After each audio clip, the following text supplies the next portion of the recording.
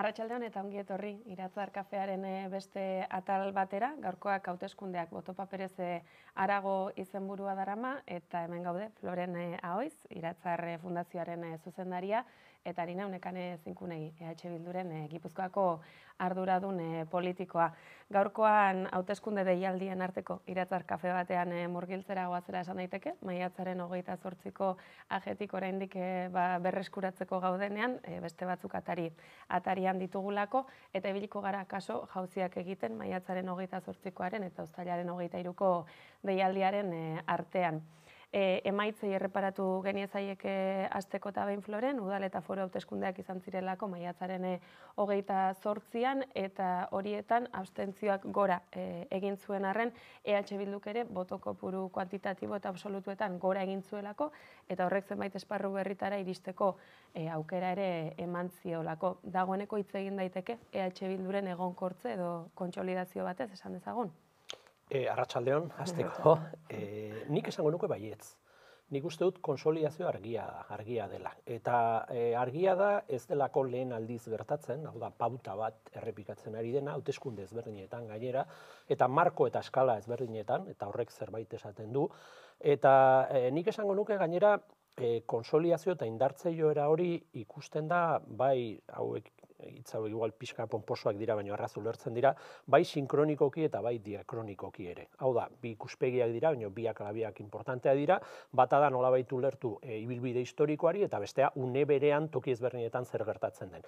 Ta bi erreparatzen badiegu, ikusiko du alde batetik ezerreko soberanismoak inoizko emaitzik onena lortzen ditula, hau da, iraganetik ona aurrerapen badago, konsolidazioa an, anatzen da, eta bestetik ere erreparatu behar da, e, kaso honetan Espainiar eskalako estatuko hauteskundeak ziren, nola joan zaien eh, besteei, ezta? Ta ze ze motatoko emaitza lortu dituzten batzuek eta bestek eta era berezian ezkerrak eta e, mugimendu soberanistak. Eta biei erreparatu ezkero, EH Bilduren emaitzak inoizko onenak dira eta gainera e, aintzat hartzen balin bada abstentzioa nola jo duen eta gainera beste e, eragile batzuek ze emaitza lortu dituzten, nabarmena da hor dagola pauta bat errepikatzen dena iraganari begira, baina baita ere e, kontraste batean. E, izan ere, e, argi izan behar dugu, momentu honetan ez Espainiar eskalan, ez da Europan ere, Espainiar estatuan eta eta Europan, e, joera tamalez, ez da ezkerraren indartzearena e, bada antipolitika edo politikarikiko atxekimen krisia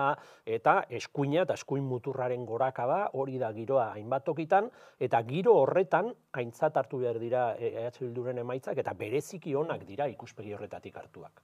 Lehen ere akaso indarrik handiena EH Bilduk indar municipalista gisa zeukala esan dezakegu, eta Euskal Herrian zentzu horretan den indar municipalista gisa egonkortu da, hortik aragoko jauziak ere egin ditu, ze izan da kaso herri txikiei, ere euskaldunari, landa ere muari ere e, atxiki izan zaion indar politiko bat, eta bazirudien e, sabai bat zeukala hor, eta gaindiezina zirudiela, baina egia esan hauteskundeotan gazteizen bertan, iruñan bertan, donostian ere lehen indarrarekiko mila botoko diferentzia soilarekin iriguneetan ere egin dualako aurrerapen bat, alkatetzako puruetan gora egiteaz gain, eta gero e, foru hauteskundeetan ere e, areagotu du. Ordura arte zeukan e, babesa, eta hori gertatu da Gipuzkoako kasuan akaso nabarmen ere, badirudi jendeak EH Bildurengan konfiantza berresten duela, eta hori gertatu da gainera, esan dezagun, espazio berrietarako sarbide hori e, da e, oldarraldia eta eta EH Bilduren aurkako edo EH Bilduren inguruko beldurraren aldeko kanpaina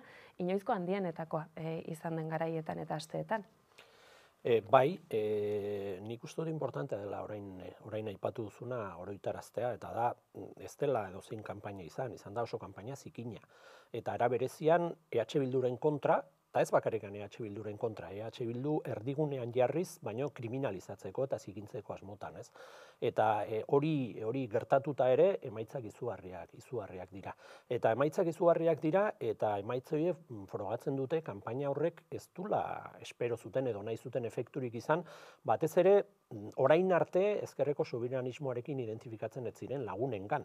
Hain zuzen ere, hoiek izan zitezken ikuspegi teoriko batetik aulenak edo zalantzak gehien izaten altzituztenak, eh, horrelako kanpaina baten tistu inguruan eh, EH Bilduren alde egiteko, ez, ba, egin dute eta egin dute inoiz baino gehiago. Hor badago irakurketa bat eta da kanpaina horrek ez duela funtzionatu.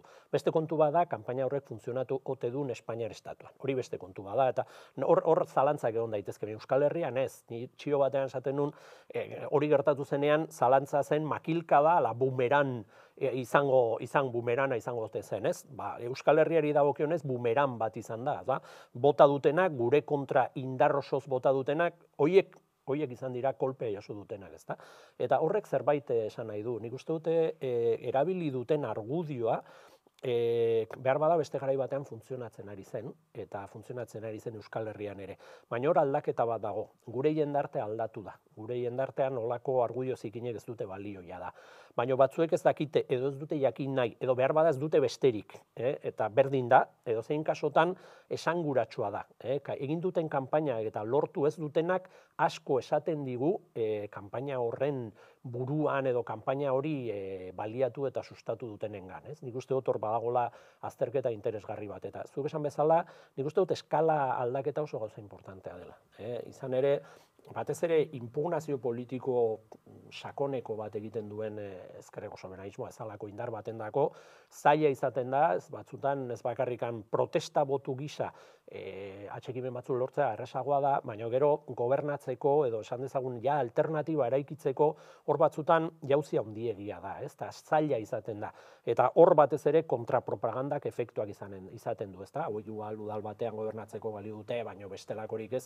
Eta hori mm, barrera handia edo arresia handia izan da urte, baina hori ere hautsi da. Hautsi zen bere garaian gipuzkoan, baina orain berriro ere hautsi da. Eta ja, gero eta jende gehiago uste du e, onena dela ezkerreko soberanismoak, hau da, EH Bildu gobernatza instituzio guztietan. Eta hori e, kalitatezko jauzia da, lehen gertatzen etzen gauza bat, eta horrek apuntatzen duzu lehen esaten zenun konsolidatze horren e, ez hipotesiaren alde.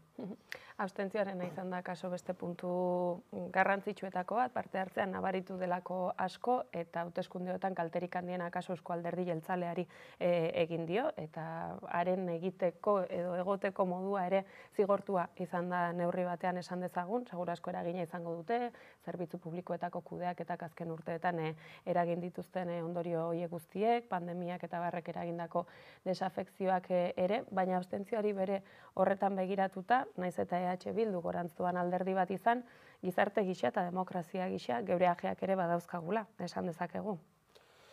E, bai, ez, e, astentzioa betik ezkagarria da, ez, e, teorian e, aukera bat dagonean, e, badakigu botereaz dagola soilik instituzio aukeratzen direnen instituzioetan hori badakigu, ezta? E, baina hain zuzen ere beste instituzio batzuk eta beste botere batzuk botu emaleen eskuetatik eskapatzen direlako, hain zuzen ere horregatik garrantzi gehiago hartzen du e, dauden aukera mugatu hiek baliatzea. Horrek ez du esan nahi hor agortzen denik, ez da agortzen, e, benetako demokrazia bat ez da hori, askoz ere gehiago, botere guztiak egon beharko lirateke herriaren boterearen menpe hori da demokrazia, ez? Demoaren, e, hau da, herriaren boterea, baina testu inguru horretan, ba, kezkagarria da. Eta kezkagarria da, e, aspaldiko joera izateaz gain, areagotzen ari delako gure esparruan, eta gure esparrua Europa da, mendebaldeko Europa. Eta hor, nabarmena da, astentzioa e, indartzen ari dela, eta gehienetan indartzen ari dena dela, esan ezagun, ezkerreko astentzioa nola baita esateko. Hori beti erlatiboa da, ez, zen botu ematen ez duena, ze emango zuen, ezakigu, ez. Baina sozialki eta ideologikoki ala, ala ematen du, ez. E, eskuinari etzaio hainbeste gertatzen, eskuin muturraren aurrera pena e, testu inguru horretan ere ulertu behar da, beraiek bai lortzen diote aurre, lortzen dute e, astentzioari aurre egitea, eta testu inguru horretan ezkerraren e, posizioak eta, eta ezkerraren mm, e, ezintasunak astentzioari aurre egiteko oso nabarmenak dira. Hori, orain honetan ez zaio gertatu, EH Bilduri, eta hori bada zerbait. Alakotan astentzioa aipatzen denean joera orokor bezala, hori matizatu behar da, ezta? Orokorra ez, EH Bilduk ez dualakorik izan. Izan du toki batzutan, hori ere egia da, nik uste dut emaitzak onak direnean eta ongi baloratzen direnean ere, holako ikuspegi esan ezagun estrategiko edo begirada luzean arabera, bainak hartu behar dira intzat. Txikiak izanik ere, igual esageratu ez, baina amplifikatu behar dira, lupa jarri behar zaie, hain zuzen ere, akatsak, akatsetatik ikasteko, ezta?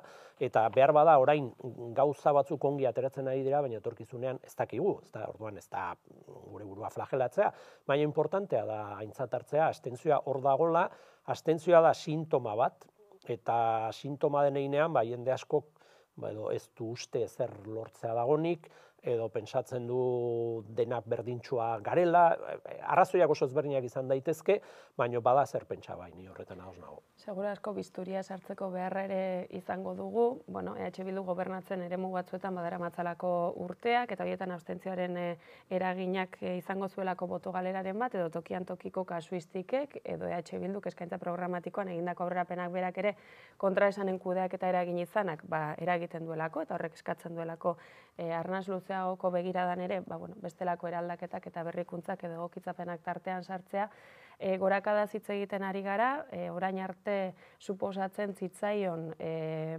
sabaia gainditu izan hitz egiten ere ari gara, eremu batzuetan gobernatzeko jauzi handia egin du, behar besteko gehiengoak eskuratu ez dituen arren, eta hori bueno, ba, gertatu da e, beste alderdi batzuen arteko paktuak ere, eta zehazki peperen e, babes aktiboak ere, ba, oztopatu dutelako EH Bildu hainbat eta hainbat tokitan alkatetza, edo, edo beste gobernagarritasun aukeretatik e, kanpo geratzea, Nafarroako kasuan bloke aurrerakoiaren lehen indarra ere izan da EH e Bildu, e, Iruñean eta Nafar gobernuan sarbidea oztopatu nahi diotela dirudi eta batzuetan inoren alde baino norbaiten kontra egindako aliantzek ematen dute emaitza hori. Nafarroako kasuak eta Iruñekoak kasok merezi dute aipamene nabarmen bat egitea, komunitateari begira ere, gorantzoan alderdi politiko edo mugimendu politiko bat izanik, eta gobernagarritasurako baldintzak eta babesa pilatzen dituen alderdi bat izanik, oztopatzen zaiolako puntu batean, ez da? Eta horrek eragin dezakelako e, palanka e, sentsazio bat, areta gehiago biltzeko behar bat urrengo aldi baterako, baina eragin dezakelako frustrazio bat ere, egin batean. Bai, nik uste dut hori ez dagoela aurretik idatzita. e, zuk esan bezala, azken finean hor dago e, ez dira bakarrikan emaitzak, baizik eta zer egin daiteke zer egin daiteken emaitzekin, ezta. Eta e, batzuek ni uste dut garrantzia handia ematen diote horri, eman diote, osea kontrakanpaina egin dute EH Bilduk emaitza hain onak ez ateratzeko, baina ez dute lortu. Baina kanpainan segitu dute emaitzen ondotik emaitza hoiek baliori gabe uzteko, ez? Emaitza hoiekin gauza gutxiago. E, egiten usteko, ez? Eta hor hori ez dago jakiterik, e, horren efektua aurretik jakiterik ez dago, baina gauza batzuk badakizkigu eta badakizkigu Euskal Herriari buruzkoak eta adibez Iparrerlandari buruzkoak, ez? Sinfeinekin hori egin dute eta emaitza katastrofikoa izan da Sinfeinen arerioen dako. Zen jende askok ulert ot, atera duen ondorioa da, are, e, orduan e, Sinfeinek benetan gobernatu alizateko, gehiengo absolutuak atera behar ditu, beraz, lagunduko dugu Sinfein goberne, gehiengo absolutuak lortzen. Ez?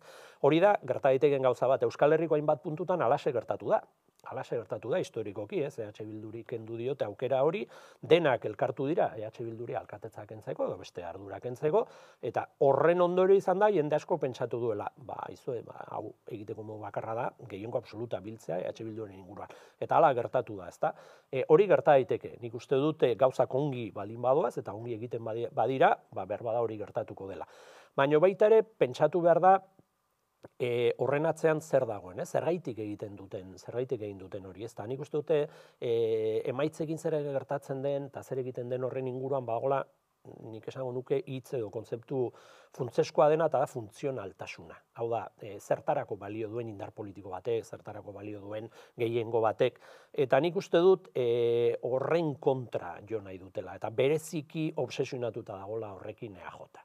E, beraiek ni uste du momentu batean ikusten dutela e, igoera e, atxekimen azkunde hori geldi ezina dela edo nekez gelditzen aldutela, nik uste dute azerketa hori egiten ari dela, baina uste dute beraien eskuetan egon daitekela funtzionaltasun hori mugatzea.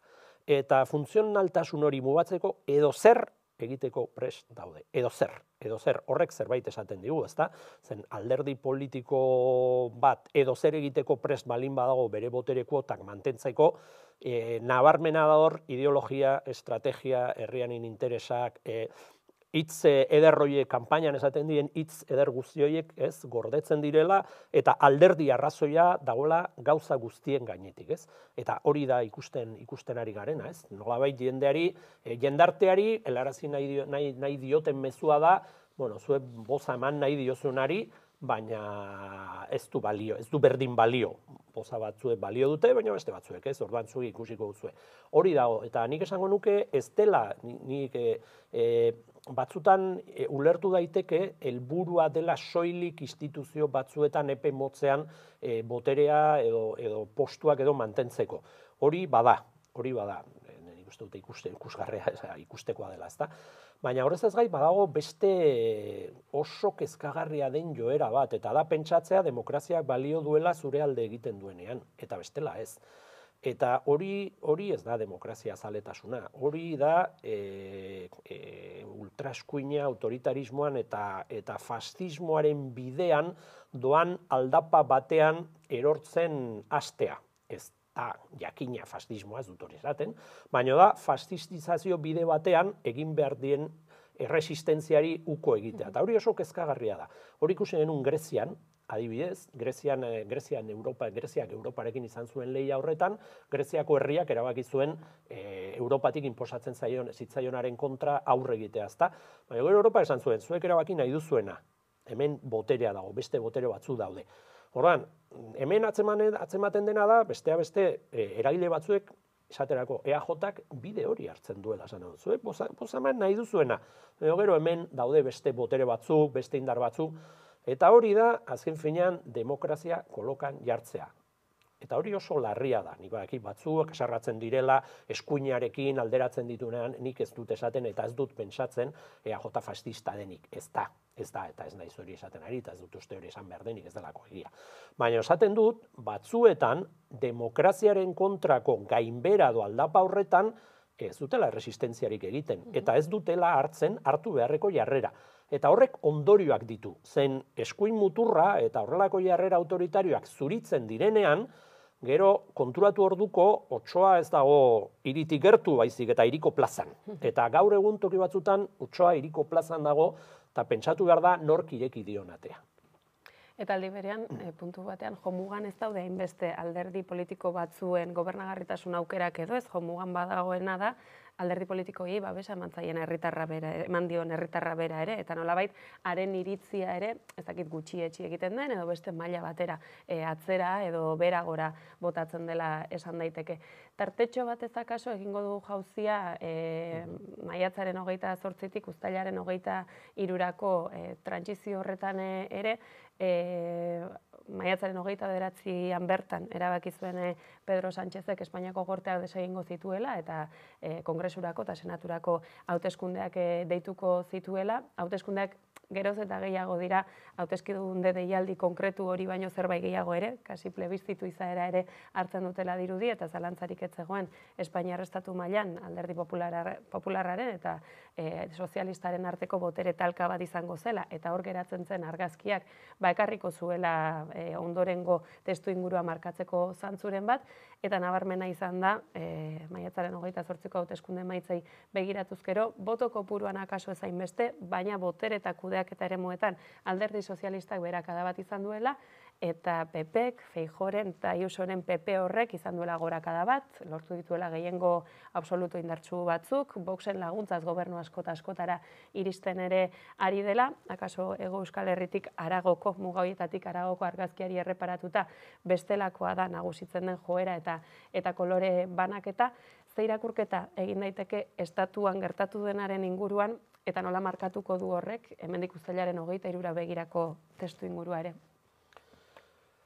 Nere ustetan sobera, e, sobera erraz edo sobera sinpleki proiektatu da maiatzaren hori zortziko e, emaitzetatik ja argazki bat ez, gerorako. Ez? E, beste hauteskunde batzuk dira, e, egia zuk esaten zenuna, plebistitu bilakatu direla, referendunak dira, azkenengo hauteskundea zen, zen eta hori, e, guain aipatuko duan logika batean dago, eta da logika impugnazio osoaren logika, da, gaur egun eskuinak, e, Espainiar eskuina defendatzen duena da, Madrien dagoen gobernua, la Moncloako gobernua ez dela zilegia, ez dela legitimoa, eta hori oso gauza e, gogorra da, eta oso gauza larria da. Horren, horren bueltan, bat dana bilakatzen da, ez bakarrikan hauteskundea, dana bilakatzen da, e, bozketa guztia bilakatzen dira plebistituak, ez? Eta testu horretan, e, behar bada batzuek interesatzen zaielako ulertarazi nahi izan dute, jada, hogeita zortziko emaitzek guztiz aurreratzen dutela zer gertatuko den e, hogeita iruan. Eta nik hori ez nuke hain erraz esango. Bestea beste, batzuen nik ezagite egia den ala ez, baina azkenengo maiatzaren eta zortziko hauteskundei behira, esaten zuten toki batzutan, berbada, euneko e, boza eman zutenen euneko gehia baino gehiago erabaki zuela, azkenengo amagoste egunetan, hori astakeria bada. horrek, horrek sortzen duelako ziurgabetasun erraldoi bat. Orduan, e, hori ez dakit egia ote den, baino egia balitz, ba, zaila litzateke pentsatzea, aurretik, e, ez, ziurtzat eman daitezkela, e, eman daitezkenik emaitzak, ez, irekita dago, nik uste dut irekita dagoela. Nik uste dut e, e, eraiki dela, e, Espainiar eskuinaren garaipen inevitable baten narratiba. Eta uste dut ez dela, ez datorrela bat errealitateaz, dator, etor daiteke bat, gerta daiteken zerbaitekin, baino e, narratiba horren e, funtzioa da performatiboa. Osea, narratiba horrekin ez dute deskribatzen zer gertatzen ari den, baizik eta zer gertatzea nahi duten. Hor dago proposizio, osea, hor dago asmo bat, eta asmoa da, e, eta logika hori da ni aipatzen nuen zerbait ilegitimoarena, ezta? Hau da, Sánchezena horregatik deitu diote goberno Frankenstein, salbo espen bat, desastrea. Orduan, hor dago narratiba bat, diskurso bat esaten duena mm, hau ez da normala, hau ez da ongi, transiziotik datorren eredu orekatu batean batzutan dago PSOE, beste batzutan dago PP, baino inoiz ez alako gobernu bat independentistekin, ezker muturrarekin, eta hori astakeria bada, hori barbaroa da, eta orduan barbaroa den einean hori, hori, hori bukatu behar da. Orduan, bukatu behar denez, jada aukera da sortu da, hori buka, bukarazteko, eta orduan nola e, salbuespen bat den, ba, normala da gauzak berera etortzea eta berriro gobernu normal hori irunean e, e, maila alkateak ala zuen, ez? E, berreskuratu zuenean jende normalaren gobernua. Hori da sakonean dagona, baina oso gogorra da, eta oso autoritarioa da, zen, hain zuzen ere, zu, zu aipatutakoaren bidetik, horrek esan nahi duna da, batzuek gobernatu dezaketela, eta beste batzuok ez. Orduan, boza da komedia bat, nahi zu, degu, e, ofizialki, teorian deno dugu eskubide bera, baina hori gezurra da boza batzuek balio dute eta beste batzuek ez. Orduan, claro, testu inguru horretan ja ziurtzat eman nahi dute eskuina, eskuinaren itzulera normala dela edo behar bada ez eskuinaren itzulera, eh? Izan daiteke hori, izan daiteke PP, izan daiteke PP Vox, edo izan daiteke estatu kolpe bat edo alako kolpe bat berriro ere pesoen, beste pesoe bat ekartzeko, beste pesoe bat eraikitzeko, peperekin estatu akordiotara iritsiko zena berdin da, kaso guztietan litzateke normalitasun, normaltasun horretara itzultzea. Eta nik uste dut hor badagola diskurso bat eta nahi dute etxipena sortu, ez? Jendeak esateak, ah, eskegia da, beti gobernatu dute berdinek, beti gobernatuko dute berdinek, ez dago beste aukerarik, hau gau zarraru bat izan da, normalena da bukatzea e, hori egin zuten Nafarroako aldaketarekin, nahiz eta gero zuten lortu, hori egin zuten Gipuzkoako diputazioarekin EH Bildu gobernatzen zuen garaietan, hori da beti sistema e, e, bazterketan oinarritzen diren sistemek erabiltzen duten zera bat, esateko, zibilizazioa barbaroak. Barbaroak ezin dute gobernatu, zen barbaroek ekartzen dutena anabasa da. Doan nik uste dut hori importantea dela e, jakitea e, bataia hori ez dago, ez dagola emanda ere. Ez dagola emanda hori denbora dago, aukerak daude, ez dago inun idatzita beste momentu batzutan Espainiar estatuan mobilizatu diren ezkerreko estatuak ezin direne mobilizatu oraingoan, hori ez dago inun idatzita, gertatuko dala ez, eta nik uste dut gure ikuspegitik e, makurrena litzatekela narratiba hori ontzat ematea, zen. Azkenian narratiba hori ontzat ematen bauzu, onartzen duzuna da logikoa dela zu zarela barbaroa eta beraz beti dagokizula bigarren maila batean egotea. Eta hori ez du onartu behar eta gainea ezkerreko subiranismoaren esango nuke kasik existitzeko funtsa da hori, ez? Esatea guk e, ez existitzeko, baizik eta geure buruaren jabe izateko eskubidea dugu e, orma eta oztopo guztien gainetik pasatuz, ezta? Aipatu dugulako hauteskunde deialdia bere horretan ez direla deialdi soil bat, egun eta eremu konkretu batera mugatzen direnak, bestelako eragin batzuk ere badituztenak, eta maiatzaren hogeita zortziko emaitzek erakutsi dute hori nabarmena izan dela, eta Euskal Herria bilduk ere bere horretan hauteskundeak ez dituelako helburutzat edo emaitza konkretu batzuk helburutzat, ba, prozesu klabetan, proiektu politikoaren orabidean aurrera egiteko tresna edo bitarteko e, unetzat e, baizik. Kontua da ipatzen zenuen, zibiliz zibilizazioaren eta barbaroen arteko dikotomia hori eraikia dela batean eta mediatizatua ere bada eta bultzatua ere bai seguru asko, baina e, geuk ere egin izan ditugun aurre ikuspen eta irakurketa politikoetan planteatu izan dugula Espainian orain arte egon izan den gobernurik aurrerako hienak ba, bere legealdiaren muga gainditzen zuenean, bi agertokirekin topo egiteko aukera geneukala. Bata izan zitekeela Euskal Herria Bilduk erabakigarria izanik, Euskal Herria Bildu bera eta estatutuko beste subiranismoak ere erabakigarriak izanik, aukera leio deitu dugun panorama hori iraunarazteko agertokia, eta bestea kaso izan daiteke, involuzioarena, PP eta Voxek boterea eskuratu eta horrek e, aurreratu izan den guztia atzera botatzeko e, agertoki bat e, erakartzearena, eta irakurketa horrek indarra edukitzen jarraitzen du, kurtso politikoaren hasieran e, egiten genuen irakurketak, bere horretan indarra edukitzen jarraitzen du, uztailaren hogeita iruko testu inguru honen e, aurreko momentuan e, ere. E, ez erreztago idatzita, eta norabide batean idaz dadin bultza egiteko beharra ere badaukagu, eta horra kaso egon daiteke e, Sánchez bat indartutatera nahi duena, askotan egin izan duena, eta Fenix Egaztiaren moduan e, zutik e, erortzen asmatu izan duena, feijo bat haren parean burua atera nahi duena, eta aiusoren kiko daukan barneleia horretan ere burua atera eta mantendu nahi duena, boxek arna sartu eta azteko aukera, eta gero badago beste esparru oso bat, esan dezagun, epesoetik ezkerretara irudikatu dezakeguna, ala edo nola sumarren markapean e, barne bildu dena. E, Espainian panorama karta horien artean e, banatu daiteke esan daiteke, eta hori Euskal Herrira ekarriko bagenu, ezkerreko aurrerako eta subiranista den esparru hori guztia abarkatzeko e, ambizioa dauka Euskal Herria bilduk, eta hori ordezkatu duen batean maiatzaren hogeita zortzian lortu dituen emaitzek erakusten dutenez, eta jarraikortasun bat beharko lukete emaitza horiek ere, aipatzen dugun eta interesatzen zaigun aukera lehi hori iraunareziko badugu erabakigarriak izatea komeni delako EH Bilduren kasuan. Bai, erabat, erabat ados. E, hain zuzen ere, horre hor pixka gaude, esazo, egin dezakegu azterketa bat, ezta, baina, eta inkluso, pentsa dezakegu gure ustetan Espainiako edo beste herrialdetako ezkerrek eta mugimendua zer egin beharko luketen, ez? Baina ez dago gure eskuetan, ez?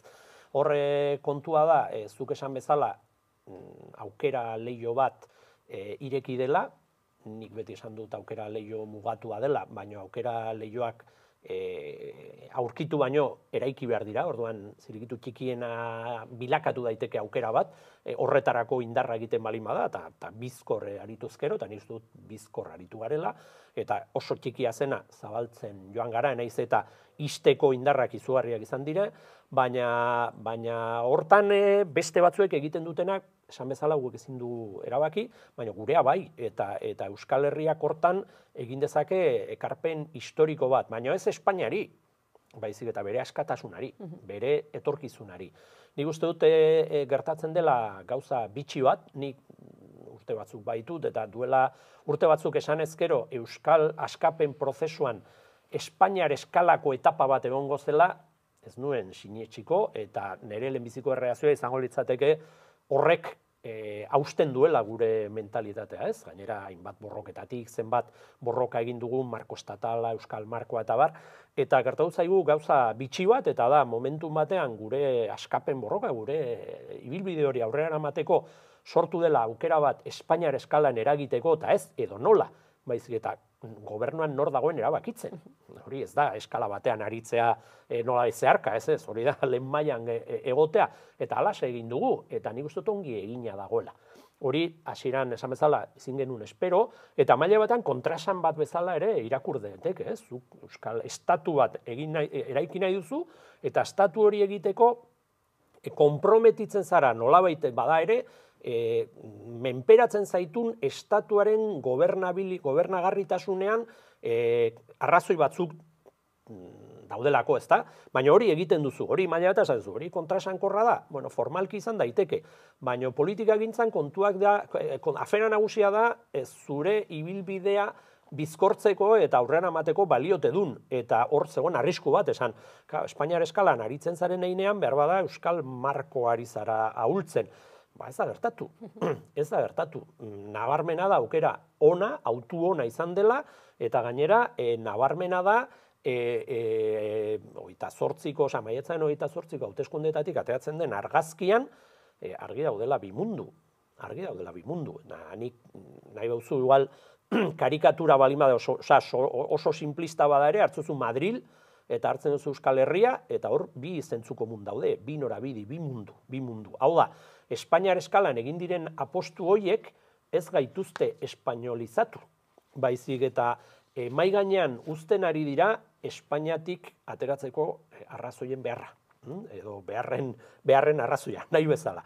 Oan, kontxo hori ezin zen espero, ezin zen espero, baina hor dago, gehi luzatu gabe dago, zergaitik eh, irekitzen den eh, aukera lehio hau, ez? Ta nik uste dut horri erreparatu behar diogu, e, kontua ez da, batzutan karikatu, igual pixka bat mesprezu esaten da, bueno, ematen du Sánchez gobernua, boltsebiken gobernua, ez, biztan da, ez, ez, ez da bigarren errepublikaren gobernua, baina Europan gaude. Eta Europan aspaldi gobernuei egiten uzten zaienaren margena oso oso txikia da eta Sánchezek hori hautsi du eta gainditu du. Ez irautza sovietiko bat egiteko, ez gu ez geunden ados erreforma laboralakin, ez e, e, e legea ez duteken du, e, balantzea hainbat askotan etxe bizitzaren legea aurrerapen bada, baina ez gu nahiko genukena, eta berdin hainbat, e, hainbat mailatan, ez? Baina gertatzen dena da, e, Sánchezen gobernua etzela botere faktikoetatik eta estatus sakonetik ekarri zen zerbait, baizik eta beren asmoen kontra, eta mm, olako krisi momentu batean gertatu zena. Orduan, horrek ematen dio, hasieratik sortu zen mm, zerbait arraro bezala, aukera bat bezala, salbuespen bat bezala. Eta gero nabarmena da, kargatu dutela, kargatu dutela beren kontra. Orduan, kontua ez da inbeste neurtzea, nahiko te genuen, nahiko genuen askoz ere gehiago, oso mugatua da gobernu, Espainiar gobernu horrek egin duena. Baina nabarmena da, lehenbiziko aldiz, amarkadetan, norabidea aldatu dutela berriro diot mantxoki, beldurrez betetan, baina norabide aldatu dute, eta hori ez diote barkatzen. Eta hori ongi ulertu behar dugu, eta ongi irakurri behar dugu. Ez da nala ezerrez terminotan, zen herri txikien dako den ala ezerrez askotan da ezerrez. Oran, ongi bideratu behar duzu, ongi pentsatu behar duzu nola egiten duzu aurrea. Uste dut, testu inguru horretan hori baloratzen jakin behar dugula, eta nik esango nuke gaur egun euskal jendartea gehiago identifikatzen dela esperimento edo deitu nahi duzun aukera lehi horren jarraipenarekin, bukaerarekin baino. Eta horrek ematen du aukera bat, EH Bildu, eta dut EH Bilduk ordezkatu behar duela guztiz majoritarioa den sentimen eta eta eta desira hori. Eta nik uste dut aukera dagola momentu honetan EH Bilduk horrekin konektatzeko eta izu arrizko emaitzak lortzeko uda izanik, San Ferminetan kanpaina bat egokituta, eta, eta lehen esan dugu bezala, maiatzaren hogeita zortziko e, ajetik oraindik ere baira bat berreskuratzeko gaudenean, baina aipatzen duzunarekin lotuta, Espainiako marko azizketan ari bagara ere, horrek herri gisa gugan daukan eragina ere sekulakoa da e, aurreratu izan duguna mugatua bada ere beste gobernu batekin egiterik izango ez genuken e, lorpenak dira, izan daiteke etxe bizitza legearena, izan daiteke pentsioen e, reformaren bueltan lortu izan ditugunak, izan daitezke beste neurri konkretu batzuk. Euskal Herria Bilduk e, Espainiako gortetarako hauteskunde dirakieken hoietara aurkezterako garaian 2019an markatu zituen e, hiru puntu, hortzegoen agenda sozialean aliketa gehien aurreratzearena, e, represaliatu politikoek e, jasaten duten salgua espenezko legedia ba nolabait atzera botatzearena eta dispertsioaren amaierak ere erakutsi du aurreratu dela. Zer egina egon daiteken arren oraindik ere neurri konkretuetan eta gero bat zegoen agenda nazionalaren puntu ere, seguru asko haulen geratu dena eta aukera leioa irekita mantentzerako kasuan norabide horretarantz irekitzeko alegina e, egin beharko genukena beraz bere biziko garrantzia duten hauteskunde batzuk dira esan bezala udabetean egokituko zaizkigun arren eta guk ere nolabait maiatzaren hogeita zortziak utzi duen zoruen mankor hori baliatzen asmatu beharko dugu, aktibazio hori guztia oraingo hauteskunde erronkaren e, mesedetan e, jarri alizateko ere. E, emaitza horiek eragina izango dutelako zalantzari gabe Euskal Herrian, jokoan egongo delako asteko alderdien arteko hegemoniaren leia bera ere. E, Euskal Herria bilduk askotan esan du partidaren bigarren zatia jokatzera joan beharko genukela e, hauteskundeotara eta bigarren itzuli hori e, irabazteko ideiari utzi beharko genioke, estatuan ere e, eragina izango du, baina guri herri gisa ere aurreratu nahiko genuken hori guztia aurreratzeko, e, poliki badare, aurreratzeko aukera txikiak irekiko zaizkigu, edo aurreratu dugun hori guztia atzera botatzeko arriskua etor dakiguke.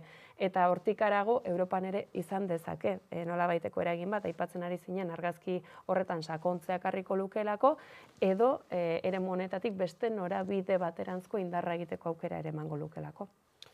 Bai, e, azkenean, herri gisa pentsatu behar ditu eta gure burua prestatu behar dugu etor daitezken agertoki guztietarako, ezta? Orduan, e, nola ez dakigun, ze agertoki izango den, nik uste dute, e, hain zuzen horregatik, astentzioaren arriskua, da besteak beste nekea, ez, hauteskunde, aurreko hauteskundea, behar bada batzuen sensazioa, jo, honek, merezi du, balio du, eta gero, ustaiaren eta irua, ibiz, Nafarroan eromen bat da pentsatzea, e, seia eta zazpian, ustaian seia eta zazpian arteko gauan, gau erdian hasten dela kanpaina elektorala. En fin, hori, gaia, deno dakigu, San Fermiak ez direla soilik iruñeko festak. Nafarroakoak bintza badira eta maila handi batean Euskal Herri osokoak ere bai. Ogan, e, eta ez dira bakarrikan gaina iruñean festak egun horietan, eta eta hauteskundeak ere erotzen dira e, Santiago eta beste festa batzuen orduan mm, eromena da. E, eta jende askoren dako ere mm, fisikoki, materialki komplikatzen nahi da, ez? E, postaz e, boza emateko, eta bar. Baina nik uste dut, e, e, erronkarik handiena da, etxipenari aurre egitea. Ez? E, dena galdua den sensazio edo beldur edo, edo ez etxipen horri aurre egitea. Eta nik uste dut horro jarri behar dela indarra. Nik uste dute aukerak daudela izuarezko emaitza lortzeko, baina, baina batez ere erronka horri egin behar zaio aurre. Ez? Zen hortik etorriko dira, ez? Eza, ba, zuek bozaman nahi zuena, baina bera bakita dago, ez dago esterik, ba, zuek jakutsatuta zaudete, zuek, orduan hortik etorriko dira mezuak, ez? Eta berriz, nik ez nahi burua etortzen zait, zeratik boza eman alako egoeratan EH Bilduri, ba, kastelaniaz noa bete esateko, pues porque vale pa un roto y pa un descosido. Hau da, mm, berdin da zer datorren gero, hobe da Euskal Herri EH e Bildu indartsu bat izatea. E, berresten balin bada azken urtetako aukera, mm, posible izango da, e, aukera luzatzea eta gainera e, e, negoziatzeko indar gehiago baldin badago, gauza gehiago lortzeko gaitasuna. Hori oso simplea da, eta nire jende guztiak ulertzen duela. Komeni da, gero eta jende zenbat, eta gero eta jende gehiago boza matea EH Bilduri, irekitzen balin bada berriro aukera hori, EH Bildu posizio indartsuago batekin joan alizateko eta Euskal Herriaren dako gauza gehiago ateratzeko zen. Beste batzuek ez bezala, negoziako eta horietan EH Bilduen ikuspegi ez da izan alderdiarena, baizik eta herriarena. Eta hori ez da demagogia, baizik eta askia begiratzea, eta datuek oso, datuek oso argia dirazten dute hori, eta beste batzuen datuek kontrako esaten duten bezain argi, ezta? Oan, e, hori gertatzen bada, ala, ala da, e, eskuin autoritarioa itzultzen balin bada, noizpait joan baldin bazen, ba edo nork daki hor egoera horri aurre egiteko hobe dela benetan kokilduko ez den indar politiko baten lidergoa izatea gure herrian. Hori edo nork daki. Eta saiatzen balin badira erregimenaren errestaurazio beste bide bat hartuz PP, PSO eta ba hobe da endredu horretan eroriko ez den euskal indar bat. eta azken finean, herri gogoa eta ikuspegi eta espektatiba historikoak salduko ez ditunen, eta uste dut ulertzen zaila argi, e, e, eragile bat. Orduan, e, estenatoki guztietarako dago ongi prestatuta EH Bildu.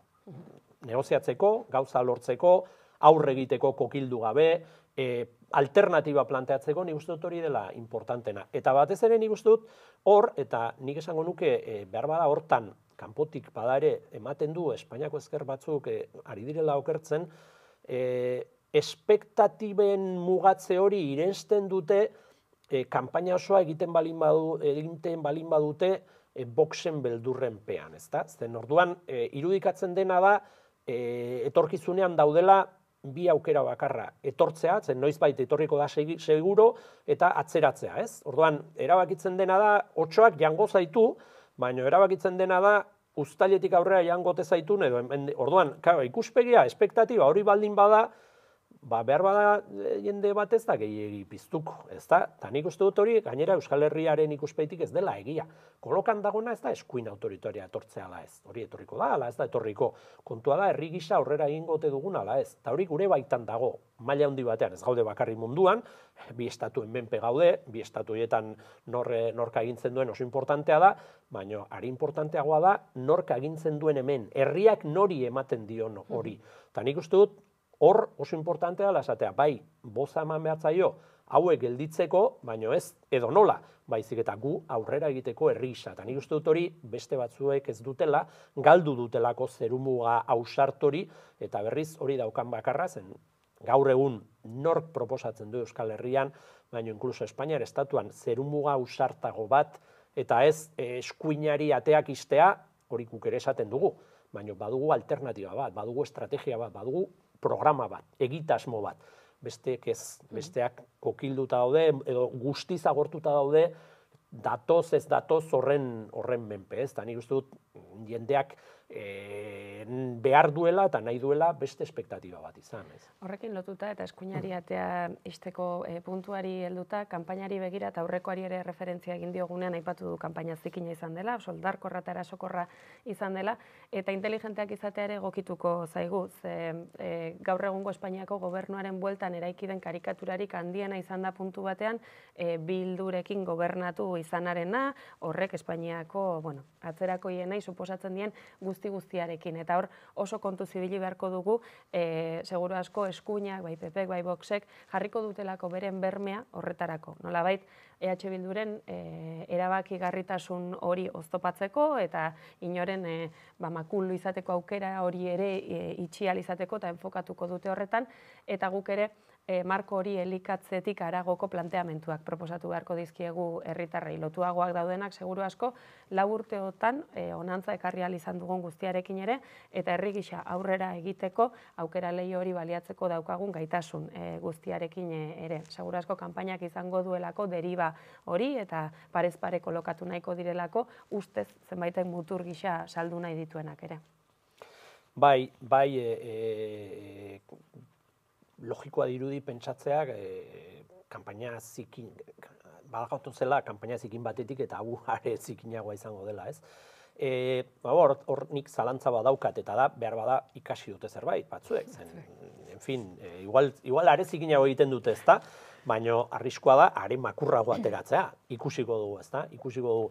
Baina bai, nik uste dute horre e, e, guk hasieratik, e, ba, nik uste dute ezkerre soberanistak eta EH Bilduk e, adierazi duela azkenen gurtetan izuarrizko gaitasuna e, gorroto eta serre eta egon pilatutako beste emozio eta errealak direnak eta eta historia bat dutenak, ez, atzean, eta e, hoiek politikoki produktibo bilakatzeko. Mm Azteko, pesoerekin hainbate gaietan elkartzea, etzen erresa, ez, berrik ikusi dugu beloke e, pesoeko ministrai bat izana, eta eta galen inguruan zer esan duen, ez, eta, eta, eta Euskal Herrian oso presente dugu, zein izan den peso eta galen arteko harremana, hori ez, ez da, e, eta hala ere egin dugu hori, eta e, duela la urte Nafarroan, badakigu, PSNek zer egin zigun. Eta hala ere albideratu genuen txibiteren, Maria Txibiteren gobernu bat. Eta gainera baloratu dugu ongi egina zela. Eta ez bakarrik gu, jendeak ere baloratu du, zen duela la urte baina asko zer boza gehiago eman dizkibute, bai Iruñan eta bai Nafarroan, e, Nafarroan, ez, oroar. Horan, Horrek esan nahi du, hor dagola e, emozioak oso importantea dira politika gintzan, hori badakigu, baina emozioak ere e, e, neurtu behar dira. Eta batez ere, mm, zuk mundu aldatu nahi bali mauzu, zuk emozioak baliatu, bideratu behar dituzu mundu aldatzeko. Ez aserre leherketa bat bidaltzeko, edo aserrea eta gorrotoa guztiz justifikatuta izanik ere, ez bilakatzeko kortozirkuitatzen zaituen zerbait. Mm, enik ulertzen dut, zen jendeak tabernetan, kalean, esate izu orain, ez? Aizue, iruñan gertatutako eta gero, ez dugu gauza bera egingo txibiterekin. Bueno, ikusi beharko da, baina igual egin behar da, igual egin behar da, zen e, hori e, egin ala ez nik ulertzen dut aserrea, eta jende esan, ni oso aserrenago, baita ni ere, ez, ez aldugu aserre egoteko motibo asko, iruñan berriro ere, ni iruñan bizi naiz, eta berriro e, upeneko alkate bat izanen dugu, hain zuzen ere, pesoek alase, pesenek alase erabaki duelako. Baina, e, zein da horren aurreko jarrera? Nik ez dakitze hartu beharko den, eh? zen negoziak eta Nafarroko gobernuaren biztan da, hori beste hauteskundea pasarte ez dela argituko, ez da, ala ematen du bentsat, ez da, oain arte hori aurreratu da. Baina erabaki beharko da, baino ez aserrearen arabera, ez da, zen aserrearen arabera ja erabaki hartuta, hartuta ongo zen. Baina zein da aserreak guztiz baituta hartzen duzun erabaki baten ondorioa. Hori neurtu behar da, eta gu hitz egiten ari gara arduraz, eta ardura da batzutan ba, zure aserrea bideratu, irentzi eta pentsatu. Bueno, ba, ikusiko guzti egiten dugun gure aserreaz, ezta? Baina hemen estrategia politiko bat dago, eta dago konpromiso bat herriarekin eta alburu batzuekin. Nik uste dute, mm, bueno, kampainan ere e, agertuko direla gai hauek, ez? Eta batzuek eta besteek erabiliko dutela hori, berbada, e, bueno, EH bilduri boza eman nahi dion edo pentsatzen nahi den jendearen gan eragin bat izateko. Baina nik uste dute hor da hola EH Bilduren indargune bat, indargune bat, eta da erakutsi duela, eta ez behin edo kasualitatez baintzik, eta etengabean jartzen dituela herriaren interesak, ez alderdiaren interesak e, baino lehen, biztan da, baita ere, aserrea, gorrotuak, eta egon daitezke beste emozio batzuk, esan bezala, erabat zilegiak, erabat justifikatuak, erabat ulergarriak, baina politika gintzan ongi kudeatu behar direnak. Segura asko argazki modu estatikoan begiratzerik ez dagoelako, esan dezagun laburtetik onantzko bideari ere eta egonen dinamismo guztiari ere erreparatu behar zaiolako, tareta gehiago egin behar delako. Irudikatu nahiko genuken argazki horren irudikapena eta hortara iristeko bide baten diseinu osoa ere. Eta uztailaren hogeita iruaren biaramunean nahiko genuken agertokia ere irudikatu behar dugu, eta lehen aipatzen zenuen eran, e, alik eta indartsuenak izatea dagokigu, ere mu horretaranzko bidean eraginkorrak e, izateko ere kanpaina den bezalakoa izan arren, gure posizioa eta gure helburuak argi izan ezkero emaitza. Emankorrake lortu ditzakegu eta baliatu beharko genuke, ba, anera daiteken gobernutik arago, herri honek prozesu klabetan aurreratu dezaken hori guztia aurreratzeko ere. Besteak beste, 2008an talde parlamentarioa lortu izanak ere eman diolako Euskal Herria bilduri ikusgarritasun bat, agenda markatzeko gaitasun bat, e, erabakigarritasuna zalantzari gabe, ba, gobernagarritasunerako giltzetako bat izateak edo aurrekontu batzuk e, onartzerako garaia negoziatzeko zabaldaiteken esparrua aprobetxatzeak ematen duelako indar bat, lortzen dituzun emaitza hori ez egiten den erabileraren esan dezagunez, lehen aipatzen zenuen neurrian. Eta hori bera, e, ba, kampainarako leloak berak ere esaten du, ezta? Egin dugu eta berriro egingo dugunaren logika elikatzea dagokigu eta gehiago egingo dugunaren logika elikatzea ere badagokigu. E, egin dugun horren errepasoak eta herritarrei horien inguruko azalpenak ematea kolokatzen gaituelako tokiko erente baten, herri honekiko posizio egoki eta erabate zilegi batean, eta egiteko dugun horrek eta ambizionatzen dugun horre guztiak ere, herri honetarako onurak, herri honen emantzipazio sozial, naiz nazionalerako onurak eh, pilatzea dakarrelako, eta gakoetako bat egongo delako horretan, botoaren erabilgarritasunean. Hauteskundek daukaten trascendentzia bere bizikoa zarago, botoaren erabilgarritasunean, eta EH Bilduri botori emateak daukan erabilgarritasunean esan dezagun. Bai, nik uste dute, e, jendeak ikusten duela, e, bueno, batzuendako usteka bat izan da, ez? E, Espainiar estatuan batzuek batean nolabait esateko euskal katazka berriro deskubritu dute, ez? Ja, hiltzat eta hori historiako zerbait gisa eta batean esan dute kontxo, ez? ez independentismo agertzen da eta orain jaz dago eta eren aitzakiari gainera, osea, estatuak ez dakiz zer erabili hauek. Oan, e, testu honetan nolabait, nik uste dut gertatzen dela zerbait eta da bitxia eta da nolabait ba, EH Bilduri por cierto, benegari bezala, Galiziako benegari bezala, e, ikusten zaiola argitasun bat, e, oi, ditu aura bat, ez nola jartzen badu erdi e, mistiko ba, karikatura gizazta, baina ikusten zaio argitasun berezi bat, ez? Eta argitasun hori lotuta dago nik uste dut freskotasun batekin. Freskotasun batekin eta eta e, ba, freskotasuna ez da mugimendu EH Bildu indar politiko gisa nahiko gaztea da, baina dator elkartu diren tradizio luzeetatik, ez? Tradizio luzeak eta ibilbide luzekoak elkartzen dira bertan, ez? Orduan ez da atzo, atzo sortua. Mm, tresna gisa bai, baina horre historia bat badago, ez da? Eta ala ere oso freskoa da. Eta freskoa da noiz eta horregatik esaten nuen lehen ikuspegi sinkroniko hori, ez? Bai, zu nola zaude, e, aztertzeko ulertu gazu nola dago mundua, zen igual zuri zentzu gauza bat, baina kontxo hori ere aintzat hartu behar, ez? Eta ikusten da, e, hainbat egitasmo agortzen ari direla agortzen ari dira, ez dira, ez dira gai e, munduan gertatzen diren aldaketei aurre egiteko. Eta EH Bildu bai, EH Bildu nik uste dut ulertu duela oso ongi ze aldaketa gertatzen ari diren gure jendartean, ze aldaketa, ze importante izan den e, borroka armatuaren itxieraren zikloa, gero ireki den egoera berria, e, Europan ere ze gertatzen ari den, nik uste dut EH Bilduk oso pandemiaren irakurketa ona egindula arduratik, ikusi jakinik, bai, batzuek erabili nahi zutela negozio egiteko eta sekurokrazia eta zain, baino jakinik ardura behartzela eta herri gisa erantzun behar geniola, eta konektatu du EH Bilduk bat jendearen estatu gogoarekin ulertuta, e, estatus sozial gisa, eta ni, ez da kasolitan lehen aipatzen zenuna osasun gintzaren inguruan dagoen keska soziala. Eta EH Bildu agertzen da nabarmenki horren defentsan inolako aitzakiarik eta narratiba e, desbiatzaile, desbiatzaile gabe, ezta? Argi esanaz, e, etorkizuna pasatzen dela horren defentsatik, langile, lanbizi, eskubideen defentsa. Ni hor dagola e, aukera bat, eta hori ez da bakarrikan planteamento defentsibo bat, ezkerra oso defentsibo dago toki askotan, eta ah, neoliberalismoa dator dena irentsi nahi du eak entzen diogun jana nunbaitetik. Hori ongi dago, besterik ez baduzu, baina alternatiba bat, eh, bai, eta neoliberalismoa horren aurrean edo horren gainetik edo horren ondotik zer. Eta ezkerreko soberanismoak badauka alternatiba bat horretarako, beste motatako jendarte bat, eta batez ere, e, gure burua gobernatzeko gogo horrek albideratzen duena da, borroka eta desira sozial ezberdinak artikulatzea. Ez beste batzuk ez daude hor, ezin izan dute horrelako artikulaziorik egin. E, horregatik e, e, feminismoa dago hemen beste toki askotan baino indartsuago, horregatik hemen ditugu sindikato borrokalariagoak eta mm, greba eta presioa egiteko gaitasun gehiagorekin, horregatik ditugu e, mugimendu, herri mugimendu zabalagoak eta aktiboagoak. Hori, ez dut esaten EH Bilduren gatik, eh? esan nahi dut herri honetan mantendu den eta mantentzen den, eta batez ere gaurkotzeko gaitasuna egon delako. Niko esango nuke, e, hemen batzuta esaten dugu eh, herriko e, Europako herri eta hizkuntza zaharrena dugula, nik horrez dakit meritote dago, meritoa da nola iritsi garen ona.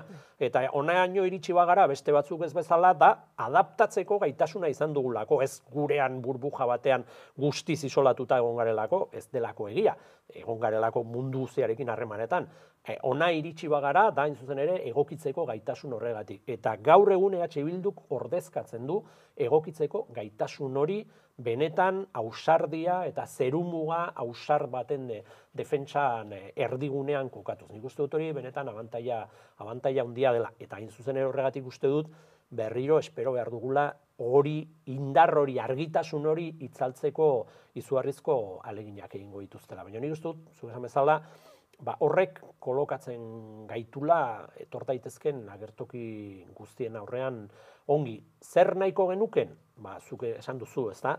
E, orain arteko e, Madrilen egon den goberno koalizioa berrestea eta eta gainera EH Bilduk indar gehiagorekin eta aliatu gehiagorekin posizio mm, ausarta hoietan e, gobernua egon den indefinizio horretatik atera eta benetan demokratizazio eta benetan hobetze sakon baten e, bidean e, jartzeko. Nik uste dut hori litzatekela onena eta konbentzituta nago mm, hori dela Euskal jendartearen gehiengoaren Ego Euskal Herria zari gara jakina ez, Euskal Herriko oza, jendartearen gehiengoaren naia, hortaz ez dut inolako zalantzari.